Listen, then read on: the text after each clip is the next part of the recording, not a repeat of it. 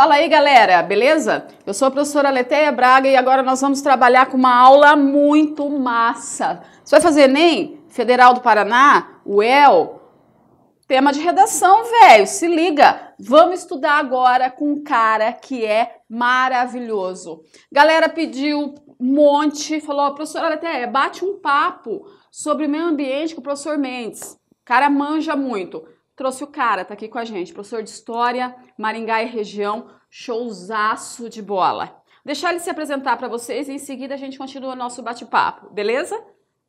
Fala galera, beleza? Aqui é o professor Mendes, sou professor de História aqui da sala e gostaria de dizer que é um prazer gigantesco estar aqui ao lado da professora Leteia. Hum. Um abraço, um beijo porque a Leteia ela faz parte da minha trajetória estudantil. A Leteia foi minha professora de redação e eu tenho um orgulho imenso de dizer para todo mundo que ela foi minha professora de redação e é um momento mágico estar do lado dela aqui para poder discutir essas questões e, ao mesmo tempo, poder dar um toque em um assunto muito bacana para todos vocês, todos vocês, alunos da Sala Saber. Não é que eu esteja velha, não, tá, gente? É que eu comecei muito nova. Exato. Escuta, meio ambiente, o que, que você fala para gente, é, dentro de um, de um pouquinho de tempo aí, professor, essa trajetória do nosso, do nosso país, mas também um pouquinho de mundo, uhum. no que diz respeito ao meio ambiente. Primeiro, uma, uma trajetória geralzona mesmo, para depois eu direcionar um pouquinho mais. Pode ser? Pode, Fica à vontade, usa o quadro, esse momento é com ele, tá? Então, pessoal, é, primeiramente eu gostaria de dizer para vocês que é, ultimamente a gente está discutindo muito questões ambientais. É, as questões ambientais, elas sempre foram foco do Enem. É, você pode fazer uma análise das últimas edições do Enem, dos vestibulares, os principais vestibulares, sempre você vai encontrar algo que envolva a dinâmica da questão ambiental. Então, é utilidade pública, a questão está na ordem do dia. No entanto, apesar da gente discutir atualmente, mais recentemente, questões mais pontuais vinculadas ao meio ambiente, nós precisamos ter o entendimento básico de que as questões ambientais, as questões é, relacionadas ao meio, ou se você preferir, apenas ao ambiente, elas estão completamente vinculadas ao processo de evolução cultural do Homo sapiens. Então não dá para separar o processo de evolução cultural do homem sem avaliar o impacto que esse processo produz no meio ou no ambiente. É fundamental que o aluno perceba que a nossa trajetória de evolução ela vai impactar de maneira decisiva é, no meio natural, no mundo natural. No entanto, é preciso ter uma sacada legal e pensar que a intensificação desses impactos mais específicos no mundo natural, no ambiente natural, ocorrem especificamente a partir das revoluções industriais. Então, quando você pensa em revoluções industriais, vou até fazer um esqueminha aqui no quadro para vocês, que eu acho que fica mais tranquilo questões. Galera, muito bacana o professor Mendes falar sobre isso, tá? Vale, vale a gente lembrar que, que tudo isso aqui depois se esquematiza dentro da prova de redação. Então, ele falando sobre essas questões ambientais e agora ele montando esse esquema, já pensa como você organiza isso aí enquanto introdução, desenvolvimento e conclusão, tá? Por exemplo, é, as revoluções industriais, agora ele está falando, são excelentes exemplificações para você colocar lá no seu texto dentro da parte argumentativa. Vai lá, professor, continua aí. Opa, então primeiro, primeiro detalhe, questão do processo de evolução cultural do homem, ou seja, é muito mais do que pensar questões ambientais de maneira pontual, tá, pessoal? E agora, especificamente, a gente lembra que esse processo, relação homem, meio ambiente se intensifica. Vou colocar aqui intensificação. E esse processo de intensificação ocorre com a revolução industrial. Bom, se você acompanha a galera aqui da sala, você já vai se situar cronologicamente de que a revolução industrial é um fenômeno burguês que se inscreve na história a partir aproximadamente da segunda metade do século XVIII.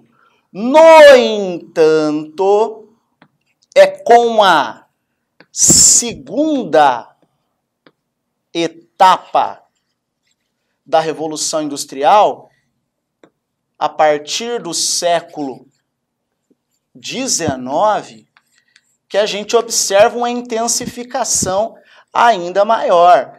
Por que, que a gente observa uma intensificação ainda maior a partir da segunda etapa do século XIX, do, da segunda etapa da Revolução Industrial? Ora, senhores, com a primeira etapa da Revolução Industrial, basicamente a gente tem o desenvolvimento de uma indústria têxtil. E aí a gente tem como matéria-prima fundamental carvão mineral. E a gente observa que a partir das revoluções industriais, é, com a emergência dos combustíveis fósseis, a gente vai é, estabelecer uma relação muito mais nociva com o mundo natural. Na segunda Revolução Industrial, a gente fala do advento ao petróleo petróleo.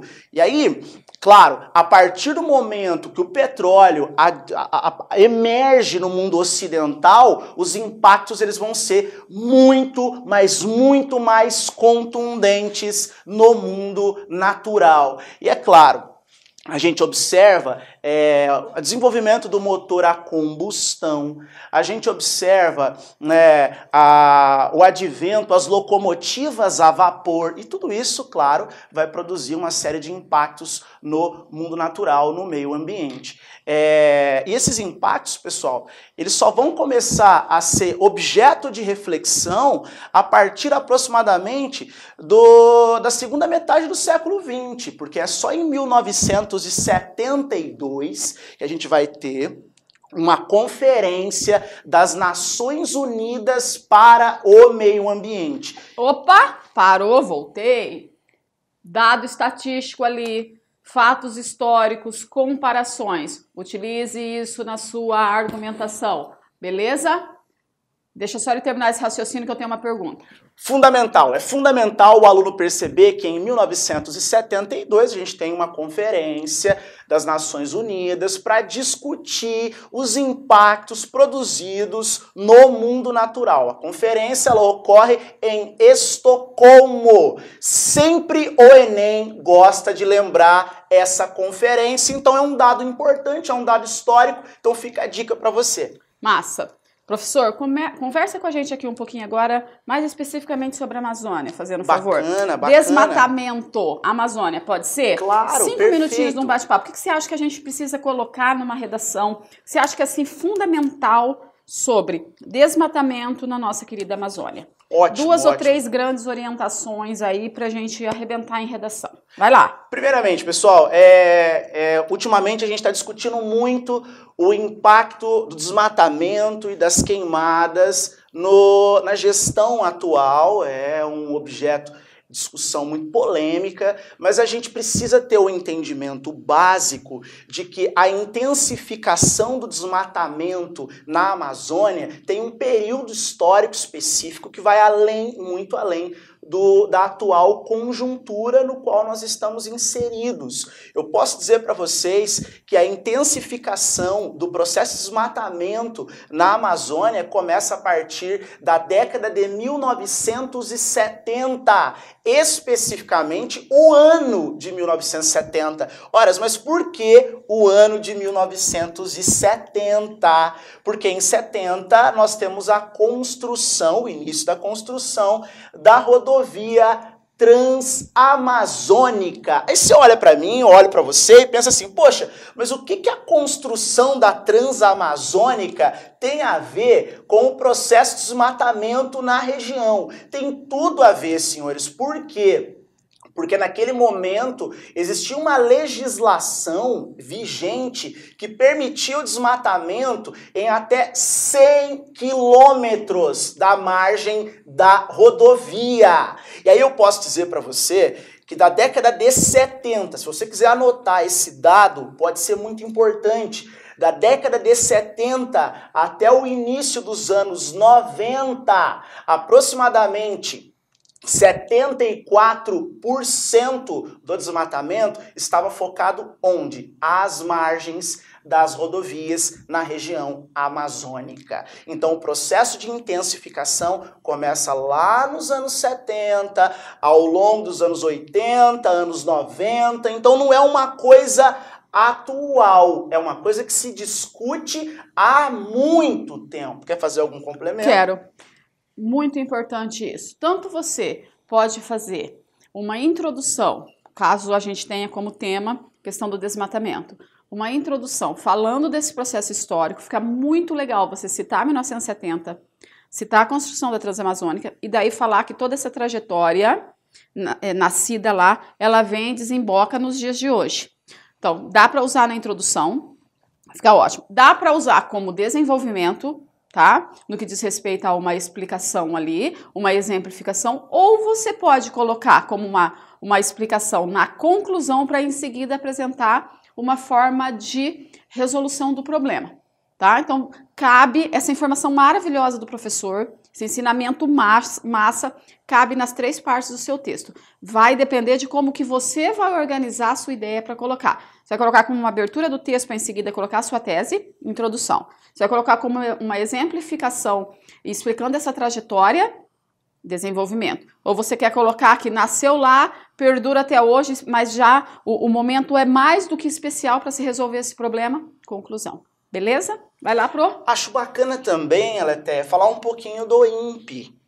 Por uhum. quê? Porque o INPE esteve no epicentro de uma série de discussões Exato. que ocorreram recentemente vinculadas ao desmatamento na Amazônia. O INPE é, é, um órgão vinculado ao governo federal e ele foi, ele foi criado especificamente no ano de 1971. Em 1971 você já faz um, um apanhado histórico. Quem governava o Brasil à época era o general Emílio Garrastazu Médici, é o momento mais emblemático da ditadura civil-militar no nosso país. E ao mesmo tempo, se você for avaliar o cenário geopolítico internacional, internacional, a gente está falando da Guerra Fria, corrida espacial, corrida armamentista. E dentro dessa lógica da Guerra Fria, a gente tem a criação do INPE, que é muito bacana. A partir de 74, o INPE vai ter acesso a um sistema de satélites que vai fazer um monitoramento do desmatamento na Amazônia. Vai fazer monitoramento de que forma? Vai mapear, vai é, fotografar. Então, existe uma série de satélites que fazem esse monitoramento de 15 em 15 dias. Tem satélites que tiram mais de 700 fotos por dia da região amazônica para avaliar o potencial desmatamento, quanto isso avança ou não. Então, o papel do INPE nesse sentido é espetacular, porque o INPE ele tem acesso a um banco de dados que não está restrito apenas ao Brasil. Uma série de instituições internacionais têm acesso a esse banco de dados. Por isso que é muito, muito delicado se questionar o papel do INPE. Por quê? Porque os dados que o INPE tem acesso são dados que uma série de instituições, aliás, mais de 1.500 instituições no mundo inteiro têm acesso. Então é fundamental o aluno entender isso, é muito importante. É importante também, Aleteia, saber que alguns dados é, sugerem que a Amazônia ela tem um potencial de se recuperar a, desde que até no máximo 30% da sua mata seja destruída. Então, se a gente avançar e destruir mais de 30% da vegetação da Amazônia, ela já não tem mais o potencial de se recuperar. Não tem mais E o você potencial. sabe dizer em quanto está hoje, professor? Sim, com Ah. certeza. A gente está em torno de 19 e 20%. Muito, né? E alguns estudos indicam que se a gente continuar avançando dessa maneira, no máximo em 20, 30 anos, a gente vai atingir o ápice de 30%. O ápice, que é 30%. E aí é irreversível, né? Porque você altera uma série de ecossistemas, você vai impactar na economia. É é um erro achar que isso não vai ter impacto econômico, tem um impacto econômico gigantesco. E por que, que tem um impacto econômico, pessoal? Porque você altera, você altera a vegetação, você altera a questão de clima, e a- existe uma série de é, sistemas econômicos e dinâmicas agrícolas que não vão conseguir se adaptar mais se tiver essa mudança drástica, tal como os estudos estão indicando. Isso vai afetar profundamente né, é, a economia. E é claro, tem um outro detalhe, tá, Letéia? É, o INPE, recentemente, ele levantou um estudo que no mês 6 de 2019 é, ocorreu um desmatamento na Amazônia que chegou a aproximadamente 920 quilômetros de extensão. Em um mês, Aleteia, Meu um Deus. mês nós desmatamos 920 quilômetros de comprimento. Só para você ter uma noção, a cidade de São Paulo, ela tem aproximadamente, a área urbana, ela tem aproximadamente 968 quilômetros. Desmatamos uma São Paulo. Desmatamos uma São Paulo. Se você for avaliar no comparativo do, do mesmo mês do ano passado, Hum. a gente avançou 80% no desmatamento da Amazônia. É por isso que é, o desmatamento ele acabou se tornando o epicentro de uma série de discussões recentemente. Já, a gente está avançando muito no que diz respeito ao desmatamento. E é claro que existem outras questões. Além da Amazônia, a gente, para pensar na questão ambiental, a gente tem que avaliar também outras questões que são muito mais relevantes também. Por exemplo, a gente tem que avaliar todo o nosso a nossa dinâmica de consumo. Uhum. Porque, por exemplo, vamos fazer uma análise aqui.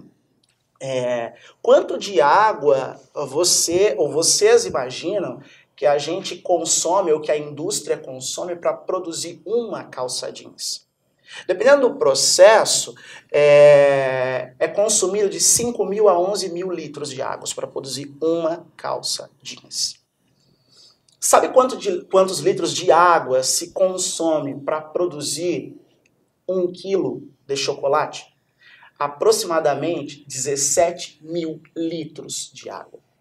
17 mil litros de água. É, um quilo de carne bovina, 15 mil litros de água. É claro que o desmatamento está muito envolvido com o consumo de proteína animal, Uhum. porque aí você tem a destruição da vegetação, área de pastagem, você tem produção de soja, e o soja é fundamental para alimentar o gado. Então tudo isso envolve, mas não é só a, o consumo de proteína animal. A gente tem que avaliar todo o nosso consumo, De uma forma geral. de né? uma forma em geral, tá? Galera, o tema é triste, mas é importante, tá? A gente termina por aqui. Daqui a pouco você dá uma, uma olhada também no esquema da redação que eu vou colocar para vocês sobre esse tema. Quero agradecer demais, professor. Muito obrigada. Valeu. Coisa boa. Um abraço. Galera, nós vamos gravar uma outra aula com o professor. Um outro tema que também foi pedido por você. Estamos atendendo os seus pedidos. Um abraço.